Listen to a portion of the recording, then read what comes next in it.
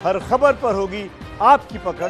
Download कीजिए ABP live app एक चौंकाने वाली खबर आ रही है। दिल्ली में आज हुई बारिश के बाद फायर डिपार्टमेंट को बारिश के साथ तेल गिरने की 50 से ज़्यादा कॉल्स मिली। लोगों ने सड़क पर वाहनों के फिसलने की शिकायत की। हालाँकि जाँच में फायर ब्रिगेड को ऐसा कुछ नहीं मिला, लेकिन विभाग का यह कहना है कि दिल्ली के आसमान में छाई प्रदूषण की धूल सड़क पर गिरने से लोगों को समस्या हुई। तो दिल्ली में फायर ब्रिगेड को 50 से ज़्यादा ऐसी कॉल्स मिली हैं।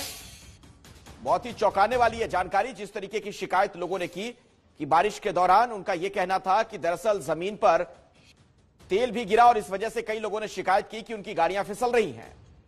लेकिन फायर ब्रिगेड ने इस मामले में जाँच की तो ऐसा कुछ भी नहीं पता चला है। क्यों है एबीपी लाइव न्यूज़ लवर्स का फेवरेट वर्क डेडलाइंस में भी stay updated always so smart कि ये करे सिर्फ़ ब्लू टिक वाली न्यूज़ पिक जस्ट लाइक घर जैसा कंफर्ट है बेस्ट वैसे ही अपनी लैंग्वेज में न्यूज़ की फील है let any time food delivery के टाइम पर मिलिए अपने फेवरेट एंकर से किसी भी टाइम एबीपी लाइव ऐप के साथ रहो सबसे आगे। Download now